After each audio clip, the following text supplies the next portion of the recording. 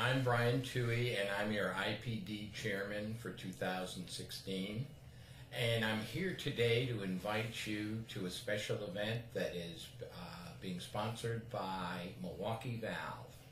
On May 17th, uh, down in Houston, uh, prior to the, uh, the PVF Roundtable, uh, we are having an IPD breakfast.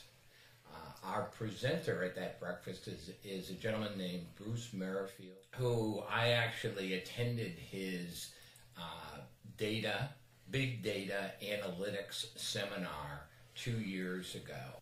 Bruce, um, Bruce told uh, the group that th- we were losing money on 60% of our customers.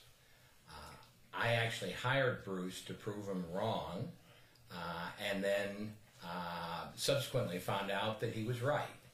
And last year at Collins, uh, we had our best year with respect to uh, profits, with respect to sales, um, and I attribute that directly to our employing Bruce program.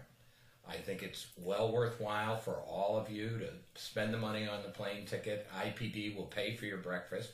Might not be offsetting, but um, we welcome you and hope you hope to see you in Houston on May 17th.